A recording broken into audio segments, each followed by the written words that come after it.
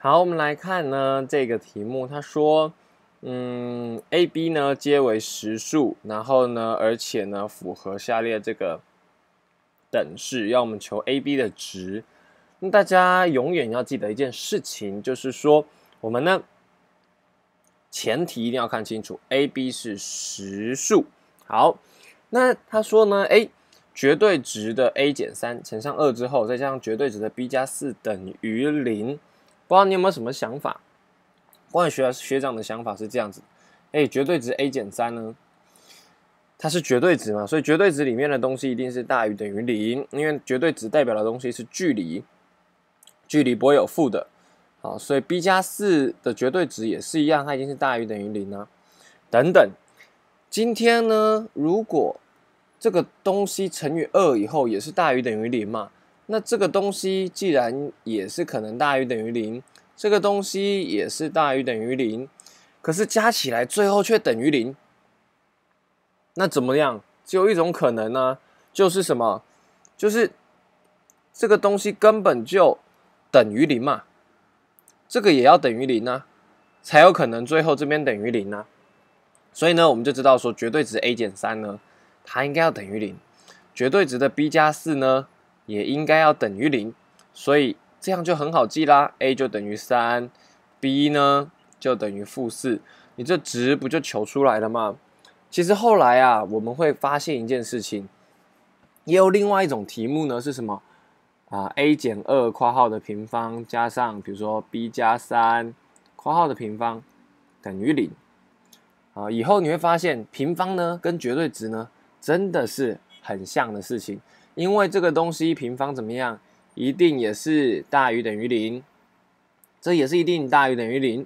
所以呢，唯一使两个大于等于零的东西相加要等于零，就只有什么可能性？就是 a 要等于二，b 要等于负三。也就是说，这个东西要是零的平方，这要是零的平方，才有可能平方加平方等于零。绝对值加绝对值等于零，就只有两个绝对值里面都是零。我们紧接着看第二小题，我们发现，哎，第二小题跟上面有点不同。第一个呢，它的等式呢，这边等于一，哎，不是等于零，所以代表呢，嗯，这个并不是两个都等于零哦。接下来呢，我们又发现另外一件事情，哎，它的前提也不一样，a、b 呢皆为整数，不是皆为实数。那我们就来想一件事情，如果 a、b 呢都是整数的话。那么 a 减三 b 加四怎么样？也都是整数嘛，对不对？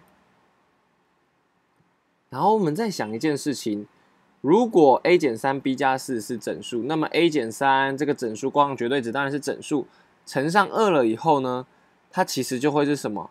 它一定是偶数哎，因为整数乘上二一定是偶数嘛。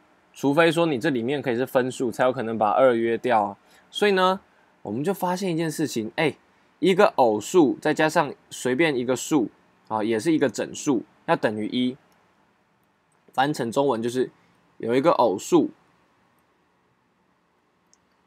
再加上另外一个整数，会等于一，那就代表什么意思？这个偶数只能是什么？只能是零啊，因为这个偶数不是零就是正的。那这个整数呢，我们可以让它等于是一，因为偶数我们不能让它是二嘛。如果这个让它是二的的话，这个整数要是负一，可是 b 加四的绝对值不能是负一啊，所以一定是零加一等于一。所以我们就得到了一件事情：绝对值 a 减三等于零，绝对值的 b 加四要等于一。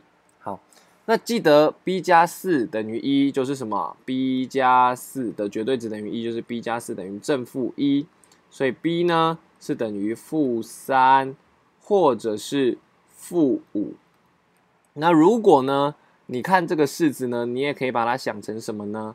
就是绝对值 b 减负四等于一，也就是说哪一个点到负四的距离是一呢？那当然就是负三或者是负五啊。所以呢，我们得到的答案就是 a 等于三，b 呢要等于负三或者负五。